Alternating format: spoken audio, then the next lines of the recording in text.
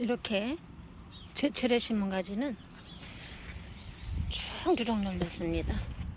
지금 여기도 지금 이 꽃 피는 곳은 다 열릴 거잖아요. 얘도 열리려고 있고, 얘도, 여기도 두 개, 세 개, 네 개, 다섯, 여섯, 일곱, 여덟,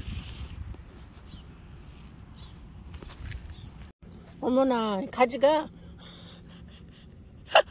가지가. 가지가. 가지가. 어머머머 가지가. 이렇게 큽니다. 땅에. 가지가 땅에 꽂히려고 합니다 지금.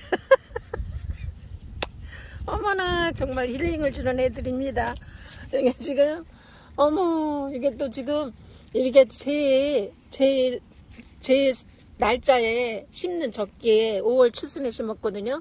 이렇게 초순에 심은 애들은 여기 하나, 둘, 셋, 넷, 다섯, 여섯 보이는 것만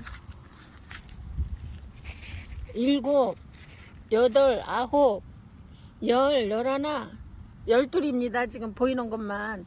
그런데 이 가지 하나가 지금 얘가 지금 하나가 세상에 30cm가 넘습니다. 제가 한번 재볼게요. 세상에나. 뭐 이렇게 큰 큰 게 세상에.